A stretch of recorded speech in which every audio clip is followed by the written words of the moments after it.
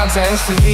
ดูนวายเกินตาเห็น ใครคำอยากดูเด็ดต้องมีสิ่งที่จดจำเล่นไปหรือเปล่าแล้วเรื่องนี้ในมุมมองของใครความเจริญมากมายกับเพื่อนหายฟิล์มพริบตาสั่งยอดขาย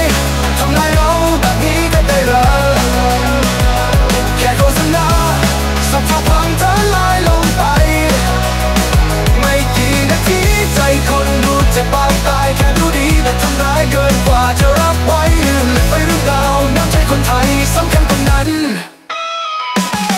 ต่างอะไรกับการเหยียดยามซ้ำเติมกัน วันยอดขายแล้นลามจนลืมความรู้สึกนั้น เขาจะชอบอยากบอกไม่เห็นต้องมองมุมนี้ แค่เข้าใจเขาว่าในความต่างที่มีเรื่องจริงไม่ใช่ฝัน แค่โฆษณาต้องทำร้ายกันขนาดนั้นเลยเหรออยากขายของก็เข้าใจไม่เคยขัดแต่ทำแบบนี้มันไม่แฟร์ไม่โอเค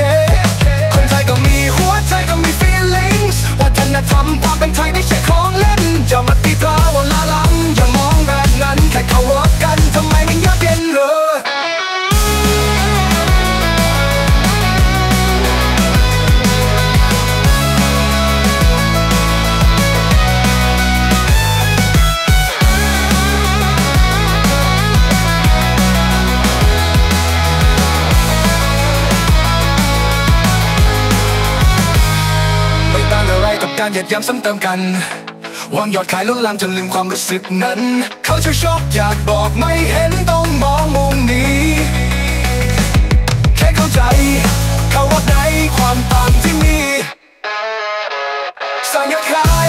ทำลายเราแบบนี้ก็ได้เหรอแค่โฆษณาสัทธา